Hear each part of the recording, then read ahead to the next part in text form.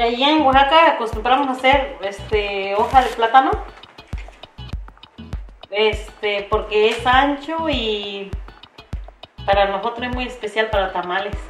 Porque allá pues el plátano no tiene nada de químico y por eso este tamal es muy este, la hoja sirve para los tamales porque no tiene nada de químico y por eso este con la hoja salen los tamales muy sabrosos le ponemos en la masa y después así como tortearla hacemos como forma de tortilla.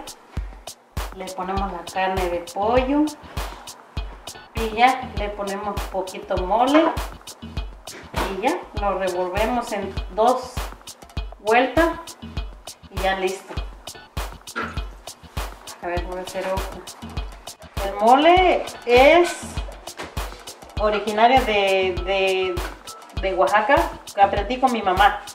Este, nosotros vendemos de, de, de, una raza indígena triqui y ella fue la que me enseñó a preparar el mole.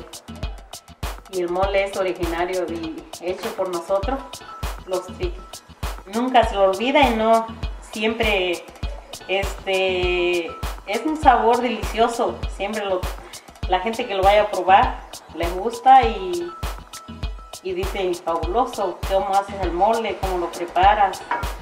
Y más cuando le digo que es de Oaxaca y la gente este la gente queda satisfecha de haber probado los tamales.